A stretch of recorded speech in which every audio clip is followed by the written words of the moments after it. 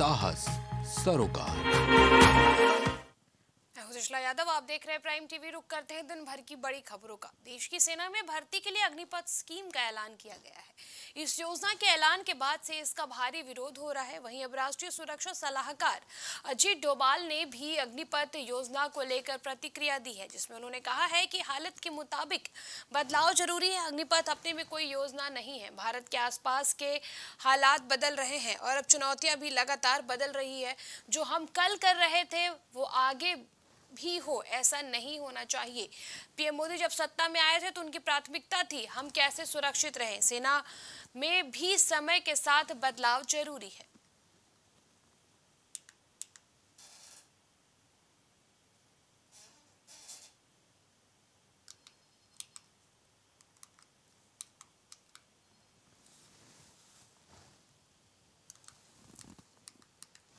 अग्निपथ योजना को लेकर एक तरफ़ जहाँ देश के कई हिस्सों से प्रदर्शन की तस्वीरें सामने आ रही थी, आगजनी की तस्वीरें सामने आ रही थी। इसी बीच अब राष्ट्रीय सुरक्षा सलाहकार अजीत डोभाल ने भी अपना जो विचार है उस योजना पर, इस योजना पर उन्होंने रखा है। उन्होंने कहा है कि अब वक्त बदल रहा है और उन्होंने प्रधानमंत्री नरेंद्र मोदी की तारीफ़ करते हुए कहा कि हालात के मुताबिक बदलाव ज़रूरी है। अग्निपथ अपने में कोई योजना नहीं है।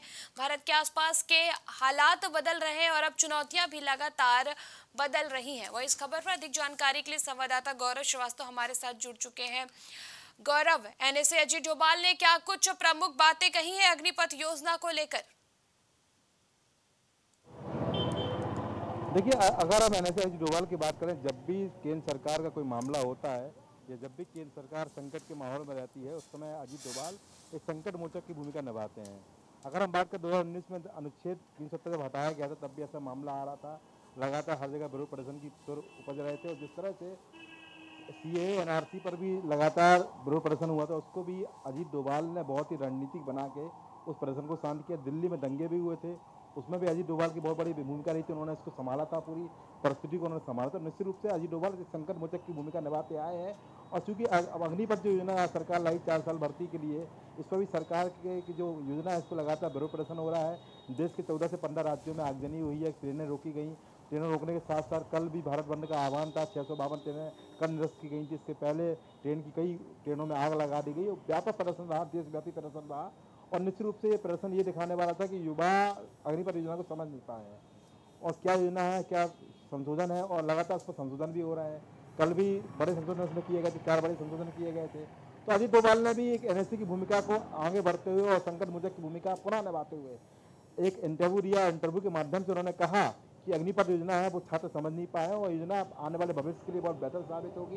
साथ ही साथ जो अग्निपथ में, योजना में जो चुने जाएँगे अग्निवीर, केवल यही सेना के हिस्सा नहीं होंगे बाकी सेना दस की दस रहेगी, बाकी अग्निवीरों से भी 25 परसेंट लोगों को स्थायी कमीशन दिया जाएगा, स्थायी कमांड दी जाएगी और उनको आगे बढ़ाया जाएगा और उनकी फिर दोबारा ट्रेनिंग की जाएगी और सेना में उनकी परमानेंट नियुक्ति रहेगी। इसके अलावा उन्होंने ये भी कहा तमाम तरह के फ़ायदे हैं और जब हम पाँच ट्रिलियन इकोनॉमी बनने की तरफ़ अग्रसर इस तरह की योजनाओं को लाना बहुत आवश्यक होता है और अब प्रयास ये है कि जो युवा है, वो अपनी ऊर्जा को खराब जगह ना लगाकर, भड़काऊ बातों में ना फंसकर और इस योजना को समझें योजना बेहतर भविष्य के लिए आई है और सेना को इससे लाभ होगा। जी गौरव अगर देखा जाए तो प्रदर्शन की सबसे जो तस्वीरें सबसे ज़्यादा आगजनी और हिंसा की तस्वीरें आई हैं वो बिहार से सामने आई है। सबसे ज़्यादा हिंसा की तस्वीरें वहाँ से सामने आई है। बिहार में इस वक्त भारतीय जनता पार्टी की सरकार है गौरव। आखिर सरकार की कहाँ कमी है? सरकार क्यों इस योजना के बारे में नहीं समझा पा रही है कि अब राष्ट्रीय सुरक्षा सलाहकार को भी इस मुद्दे पर आगे आकर बोलना पड़ा? देखिए, बिहार में भारतीय गठबंधन की सरकार, जनता दल यूनाइटेड भारतीय जनता पार्टी गठबंधन है, और वापस सरकार चल रही है। हालाँकि कल भी सूरभ जी थे और जनता दल यूनाइटेड के लोग मुख्यमंत्री रहे हैं। वहाँ के जो नीतीश कुमार, उन्होंने बड़ा बयान उन्होंने कहा था कि कोई भी राय लेने के पहले हमसे पूछा नहीं जाता है। तो कहीं ना कहीं उनकी एक जो सुर थे वो कहने वाले थे कि अगर आप भर्ती कर रहे हैं या कोई भी आप बड़ा निर्णय ले रहे हैं, देशव्यापी निर्णय लेना है, सेना का निर्णय लेना है जिसका सीधा सीधा रक्षण संबंध है तो उसके लिए आपको आम दल से बैठक करनी चाहिए, खासतौर से जो उनका राज्य है, बिहार। क्योंकि मैं आपको बता दूँ, अगर भर्ती की बात करें तो सबसे ज़्यादा जो देश में भर्ती होती है, वो बिहार से होती है, पश्चिम बंगाल से होती है, छत्तीसगढ़ से होती है उत्तर प्रदेश से होती है। अगर भर्ती की बात करें, सेना भर्ती की बात, पंजाब से भी सबसे ज़्यादा भर्ती होती है और बिहार से बड़ी संख्या में भर्ती के लिए लोग सेना में आते हैं। बड़ी बड़ी संख्या में वहाँ पर सेना की भर्ती रैलियाँ होती हैं। तो निश्चित रूप से बिहार में प्रदर्शन बढ़ा रहा और अगर प्रदर्शन की बात करें, देशव्यापी प्रदर्शन की बात करें तो बिहार से इसकी शुरुआत मान सकते हैं कि बिहार में इस प्रदर्शन हुआ और फिर इस प्रदर्शन की आग वो धीरे धीरे पंद्रह राज्यों तक फैल गई। तो निश्चित रूप से यहाँ पर जो बात कही जा रही थी कि वहाँ पर भाजपा गठबंधन की सरकार है, नीतीश कुमार की सरकार है, वहाँ पर जनता यूनाइटेड और बीजेपी का गठबंधन सरकार है वहाँ पर तो निश्चित रूप से यहाँ पर कुछ लगाव रखनी चाहिए थी। पर चूँकि ये प्रदर्शन देशव्यापी था क्योंकि बिहार में ये आग इसलिए उपजी और साथ ही प्रदर्शन इतनी जोरदार रहा, इतनी, इतना तेज़ी से रहा कि क्योंकि वहाँ पर सबसे ज़्यादा भर्ती के लिए लोग आते हैं और युवा सबसे ज़्यादा वहाँ पर आर्मी भर्ती में जाते हैं। निश्चित रूप से यहाँ पर प्रदर्शन की शुरुआत ज़्यादा हुई और उग्र प्रदर्शन भी रहा। जी, बिल्कुल। अब देखना ये होगा कि राष्ट्रीय सुरक्षा सलाहकार की बातों का कितना असर पड़ता है। गौरव, युवाओं पे फ़िलहाल इस खबर पर अपनी नज़र बनाए रखें। तमाम जानकारी के लिए शुक्रिया आपका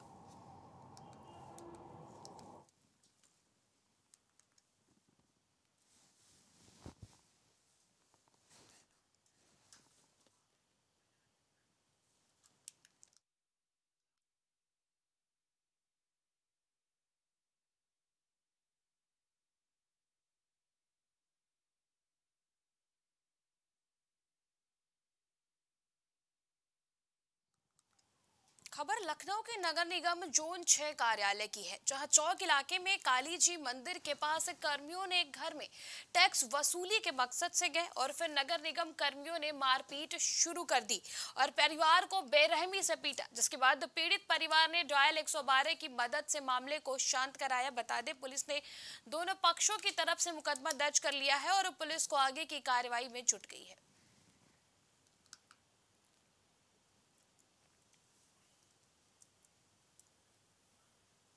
संवाददाता गौरव श्रीवास्तव, इस खबर पर अधिक जानकारी के लिए हमारे साथ जुड़ चुके हैं। गौरव, क्या कुछ पूरा मामला है टैक्स वसूली के दौरान? जिस तरह की घटना सामने आई है, एक वीडियो वायरल हुआ है, क्या कुछ ये पूरा मामला है? देखिए, सोलह तारीख की घटना है और घटना के बाद कहा जा रहा था कि ये जो मामला है, ये पूरी तरह से नगर निगम जो कर्मी हैं और उनकी जो कर अधिकारी हैं, जोन छः की अंजलि जैरा उनके बीच का मामला था। और साथ ही साथ जब वो वहाँ पर जोन छः में एक मल्होत्रा जी हैं शिवराज मल्होत्रा उनके यहाँ कर के लिए गई थी, उनका नोटिस देने गई थी और वहाँ पर मामला आया कि उन्होंने बदतमीजी की, अभद्रता की, उसके बाद जोरदार वहाँ पर लड़ाई हुई थी और वहाँ पर चप्पलें से लेके और लाठी तक चली थी बोतल तक चली थी, उसमें काफ़ी लोगों को चोट भी आई थी, गंभीर चोटें भी आई थी। तो निश्चित रूप से मामले में संज्ञान लिया गया और सभी लोगों का कहना था कि चूँकि ये कोई वहाँ पर नोटिस देने गई थी नोटिस नहीं लेता, क्योंकि भवन स्वामी उनका ये आदेश, उनका कहना था कि नोटिस देने आई थी और हमको पड़ोसी का नोटिस दे रही थी, इसलिए हमने उनको लेने मना कर दिया। कोर्ट की चर्चा रही इसकी अभद्रता हुई। अभद्रता के बाद जब नगर निगम कर्मी से बातचीत हुई, अभद्रता हुई तो वो अपने कार्यालय में गया कार्यालय में जब गया है तो वहाँ पर अंडलिप जेरा जो कि कर अधिकारी हैं, जो कि वहाँ के रेवेन्यू इंस्पेक्टर हैं, जोन छः की वो वहाँ पर गई और अपने साथ तीन चार लोगों को और लेके गई, वहाँ पर मारपीट की गई। और ये सब वीडियो वायरल हुआ। वीडियो वायरल होने के बाद संज्ञान लिया गया और लखनऊ के नगर आयुक्त अजय कुमार द्विवेदी ने इस पर बड़ी घोषणा करते हुए भाई बड़ा आदेश देते हुए यहाँ उनको फ़िलहाल अभी जो अंजलिप जेहरा है, जो जोन छः की अधिकारी हैं रेवेन्यू इंस्पेक्टर हैं, उनको कर अधीक्षक हैं, उनको फ़िलहाल अभी नगर निगम कार्यालय संबद्ध किया गया है और साथ ही साथ निदेशालय को उनके निलंबन के लिए चिट्ठी भी लिखी गई है। और साथ ही साथ अगर इस बात में और बात चर्चा करें तो निश्चित रूप से यहाँ पर दोनों तरफ़ से एफआईआर कराई गई है और अगर एफआईआर की बात करें, रविदास जो आपके शिवराज मेहरोता की तरफ़ से तो तो नगर निगम कर्मियों के खिलाफ धारा एक सौ सैंतालीस, तीन सौ सत्ताईस, तीन सौ अट्ठाईस, तीन सौ चौबीस, चार सौ सैंतालीस और पाँच सौ के तहत मुकदमा दर्ज किया, धमकी मारना पीटना, धमकाना और अभद्रता करना इस तरह की तमाम धाराएँ नगर निगम कर्मियों पर लगाई गई हैं। जी कुरे जो वीडियो सामने आया है इसमें ये सामने आया है कि जो कर्मी है वो टैक्स वसूली के मकसद से गए हुए थे। क्या पहले से इस परिवार का ज़्यादा टैक्स बाकी था क्या? जी। गौरव। टैक्स वसूली की बात यहाँ पर ऐसी नहीं होती है। तुषार जी मैं आपको बताऊँ यहाँ टैक्स आप वसूलने जाते तो आप नोटिस देते हो और टैक्स जमा करना वो जो भवन स्वामी उसका काम होता है वो जाकर टैक्स जमा करे। आप केवल टैक्स का नोटिस देने जा सकते हैं आप कोई भी टैक्स जो वसूली होती है वो वहाँ पर कैश वसूली नहीं होती है। जो। भी होता है आप नोटिस दे नोटिस जारी करिए नोटिस वहाँ दीजिए और नोटिस अगर वहाँ पर नहीं लेता है तो तो फिर आप उस नोटिस को वापस कर सकते हैं उनको दोबारा आप डाक के माध्यम से नोटिस दे सकते हैं। तो आप नोटिस जहाँ देने गए तो नोटिस के दौरान क्या बदला की गई किस तरह की बातचीत की गई कि मामला इतना बढ़ गया कि वहाँ पर मारपीट हो गई है। जो भी बात होती है, वो टैक्स का नोटिस जाता है। नोटिस देने के बाद फिर भवन स्वामी का एक कर्तव्य होता है कि वहाँ नगर निगम कार्यालय जाए और चेक के माध्यम से या कैश के माध्यम से वहाँ पर ग्रह कर जमा करे। ऐसी कोई भी व्यवस्था अभी तक नगर निगम में लागू नहीं है कि आप ऑन द स्पॉट आप अपना जाके टैक्स जमा करेंगे या कोई भी अधिकारी आएगा तो वहीं आपके स्लिप काट के आपका टैक्स जमा कर देगा। आपको टैक्स जमा करने के लिए चेक के माध्यम से या कैश के माध्यम से जो संबंधित आपका नगर जो अधिकारी है, जो कार्यालय है, वहाँ पर जाना पड़ेगा और वहाँ पर आपको अपना ग्रह जमा करना पड़ेगा। और इसके पहले भी तमाम तरह की घटनाएँ होती है, पर वहाँ पर भी बड़े बड़े जो वहाँ पे भ्रमण स्वामी रहे बड़े बड़े बिल्डिंग के मालिक रहे हैं, जो टैक्स नहीं देते उनके उनके बाहर नगर निगम दुंडवी पिछवाते थे और तमाम तरह की घोषणा करवाते लाउड स्पीकर से घोषणा करवाते थे कि इनका टैक्स बाकी है।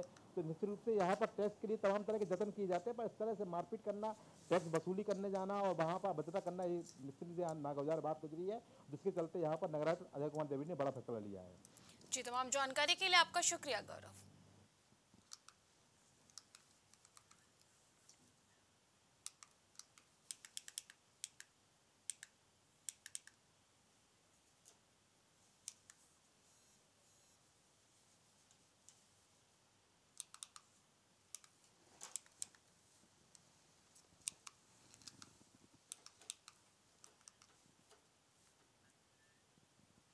यूपी में रामपुर और आजमगढ़ इन दोनों लोकसभा सीटों पर 23 जून को उपचुनाव होना है। आज यहाँ प्रचार का आखिरी दिन है। शाम पाँच बजे यहाँ प्रचार थम जाएगा। इस सीट को जीतने के लिए बीजेपी और सपा पूरा दमखम लगा रही हैं। इसी क्रम में यूपी के सीएम योगी आदित्यनाथ मंगलवार को रामपुर के बिलासपुर पहुँचे। यहाँ उन्होंने एक चुनावी जनसभा को संबोधित किया। इस दौरान सीएम योगी ने कहा कि रामपुर की अपनी धरोहर है, लेकिन कुछ लोग रामपुर की धरोहर को नष्ट करने के प्रयास में रहते हैं। अगर किसी ने इसकी पहचान नष्ट करने की कोशिश की तो जनता उसको सबक सिखाना भी जानती है। इसके साथ ही सीएम योगी ने कहा कि यहाँ के गुंडा राज और माफिया राज को डबल इंजन की सरकार ने खत्म करने का काम किया है। भारतीय जनता पार्टी किसी परिवार की पार्टी नहीं है। भारतीय जनता पार्टी किसी खानदान की पार्टी नहीं है। भारतीय जनता पार्टी जनता की पार्टी है। जनता जनार्दन के आशीर्वाद से बनी हुई पार्टी है। और इसलिए एक सामान्य कार्यकर्ता को आज प्रत्याशी के रूप में हम सब आपके पास लेकर के आए हैं। श्री घनश्याम सिंह लोधी भारतीय जनता पार्टी के प्रत्याशी के रूप में रामपुर लोकसभा सीट पर भारतीय जनता पार्टी ने आपके बीच आपको दिया है। एक बार चुनाव जिता करके भेजिए। और मैं घनश्याम सिंह लोधी से कहूँगा कि वह केवल संसद सत्र के दौरान संसद में रहे, अन्यथा जो डेढ़ साल, दो साल का कार्यकाल इनको मिल रहा है, डेढ़ साल, दो साल केवल रामपुर लोकसभा सीट के गाँव गाँव और घर घर जाकर के जनता जनार्दन के प्रति आभार व्यक्त करें। हम लोग वो सभी विकास के कार्य यहाँ के लिए देंगे, जिन विकास कार्यों की आवश्यकता इस रामपुर जनपद के लिए होगी। और इस खबर पर अधिक जानकारी के लिए संवाददाता तुषार शर्मा हमारे साथ जुड़ चुके हैं। तुषार, आज शाम पाँच बजे लोकसभा उपचुनाव सीट के लिए चुनाव प्रचार प्रसार थम जाएगा। क्या कुछ अपडेट है रामपुर का? जी देखिए, बिल्कुल मैं आपको बताना चाहूँगा, जिस तरीके से रामपुर में लोकसभा उपचुनाव चल रहे हैं तो लगातार यहाँ पर जो भाजपा के जो प्रत्याशी हैं, घनश्याम सिंह लोधी जी, वो लगातार अपने प्रयास में लगे हुए हैं, रैलियाँ निकाल रहे हैं, लोगों से डोर टू डोर जाके बातें कर रहे हैं और उनकी समस्याओं को सुनते हुए नज़र आ रहे हैं। तो कहीं ना कहीं देखा जाए तो लोगों का जो विश्वास है, अब सपा से थोड़ा कम होके भाजपा की तरफ़ को बढ़ रहा है और वही अगर दूसरी ओर अगर अगर सपा के गद्दावर नेता आज़म खां की बात करी जाए तो आज़म खां भी लगातार चुनावी जनसभा को संबोधित कर रहे हैं, जो उनके जो प्रत्याशी हैं सपा से, आसिम राजा उनके साथ जगह जगह जाकर लोगों से बातचीत कर रहे हैं स्वार टांडा में खास उनका ध्यान है और भी जगह है वहाँ पर वो वो जाकर लगातार लगातार जनसभा को संबोधित कर रहे हैं। अब इसमें देखने वाली बात दिलचस्प यही रहेगी कि चुनाव के दिन रामपुर की जो जनता है वो आखिर किसकी किसकी ओर को जितवाती नज़र आती है? जी। तुषार क्या कुछ तैयारियाँ हैं तेईस तारीख की रामपुर में? देखिए अगर अगर तैयारी की बात करी जाए तो यहाँ पर लगातार पुलिस प्रशासन तैनात है जगह जगह यहाँ पुलिस प्रशासन को अभी अलर्ट किया गया है, क्योंकि देखिए, उत्तर प्रदेश में दो ही जगह चुनाव होने हैं तो उसके चलते यहाँ पर जो रामपुर जो है, वो वो बहुत गर्म सीट मानी जाती है, बहुत हॉट सीट मानी जाती है रामपुर को। खैर, वैसे तो खैर ये रामपुर बहुत शांत जगह मानी जाती है अपने आप में, लेकिन अगर कहीं ना कहीं देखा जाए तो पुलिस प्रशासन पूरी तैयारी से अलर्ट है अपने। यहाँ के जो पुलिस एस हैं और जो डीएम है, डीएम कप्तान लगातार यहाँ पे जो है गश्त कर रहे हैं लोगों से बातचीत कर रहे हैं और उनको समझा रहे हैं कि देखिए किसी भी तरह की अफवाहों पर ध्यान ना दें जो आजकल देखिए आजकल एक ही ट्रेंड बन चुका है कि लोग जो हैं वो सोशल साइट्स का सहारा लेते हैं और एक गलत नेगेटिविटी लोगों के माइंड में बढ़ते हैं। तो इन इन इन सब चीज़ों को ध्यान में रखते हुए पुलिस कप्तान ने और डीएम ने ये ऐसे मैसेज कई सारे वायरल कर रखे हैं कि इन चीज़ों पर बिल्कुल भी ध्यान ना दें ये सब चीज़ें बिल्कुल नेगेटिविटी फैलाती है। जी। जी तमाम जानकारी के लिए आपका शुक्रिया तुषार जी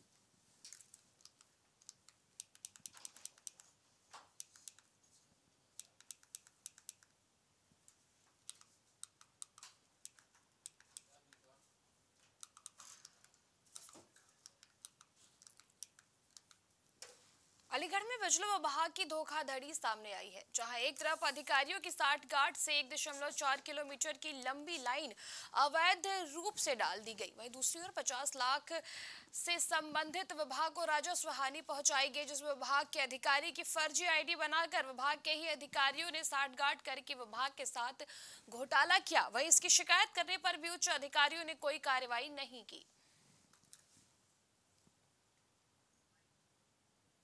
1.4 किलोमीटर की लाइन अवैध रूप डाली गई थी।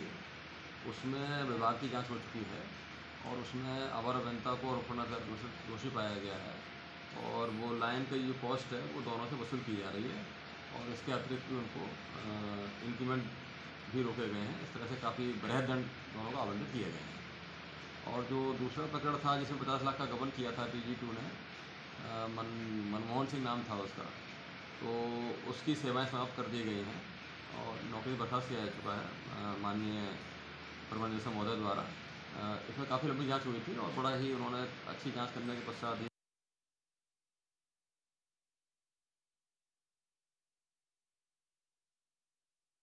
शिकायत करने के बावजूद भी उच्च अधिकारियों ने इस मामले पे कोई अभी तक इस मामले को संज्ञान में नहीं लिया इस पर कोई कार्रवाई नहीं की है। हालाँकि लोगों में खासा आक्रोश भी देखने को मिल रहा है। वहीं फर्जी आईडी बनाकर विभाग के अधिकारियों ने साठगांठ करके इस घोटाले में साथ दिया है। इस घोटाले में कई अधिकारी भी संलिप्त पाए जा रहे हैं, जिसमें विभाग के अधिकारी की फर्जी आईडी बनाकर विभाग के ही अधिकारियों ने साठगांठ करके विभाग के साथ घोटाला किया, जहाँ एक तरफ़ उत्तर प्रदेश सरकार लगातार उत्तर प्रदेश को और घोटाला मुक्त बनाने की कोशिश कर रही है। लगातार कई तरह की योजनाएँ चलाई जा रही हैं कि किसी तरह की कोई घोटाले ना हो पाए, उसके बावजूद भी जिस तरह ये घोटाले सामने आ रहे हैं, कहीं ना कहीं मुख्यमंत्री के सपनों को पलीता लगाते हुए अधिकारी नज़र आ रहे हैं। और अधिकारी की ही फर्जी आईडी बनाकर अधिकारियों ने साठ गांठ करके इस घोटाले को अंजाम दिया है।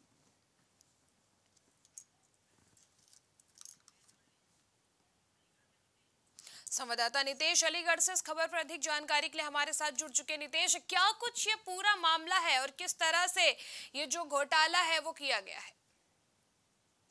शिखा, मैं आपको बता दूँ, ये पूरा मामला अलीगढ़ के बिजली विभाग का है। यहाँ पर उनकी एक मिली भगत से एक साठ गांठ से एक मामला सामने आया है। अगर मामले की बात करिए, वही एक मामला पचास लाख से संबंधित बिजली विभाग को राजस्व हानि पहुँचाने का है, जिसमें विभाग के अधिकारी की फर्जी आईडी बनाकर, विभाग के ही अधिकारियों के साठ गांठ करने का विभाग को नुकसान पहुँचाने का कार्य किया गया है। और आपको बता दिया जबकि जो कर्मचारी है बिजली विभाग का, वो मनोहर लाल सिंह, जो तीन सालों से पैरालिसिस का मरीज़ है, वो बिस्तर पर ही पड़ा हुआ है, वो उठ भी नहीं सकता। और उसके आईडी फर्जी आईडी बनाकर उसके साथ ही साठगांठ की गई है। अब आगे जो उच्च अधिकारी है, इस पर कैसे कार्रवाई कर रहे हैं इस पूरे मामले पर? क्या इसकी खबर उच्च अधिकारियों तक गई? अगर उच्च अधिकारी की अगर बात करी जाए तो उच्च अधिकारी पल्ला झाड़ते हुए नज़र आ रहे हैं और कार्रवाई ना करते हुए नज़र आ रहे हैं। जी, तमाम जानकारी के लिए आपका धन्यवाद, तुषार।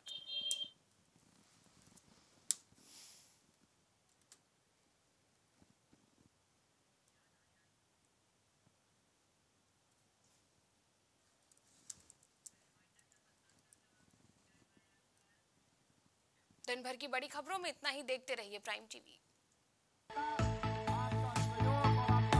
कुछ भाव पुष्प। आप देख रहे हैं प्राइम टीवी सच साहस सरोकार।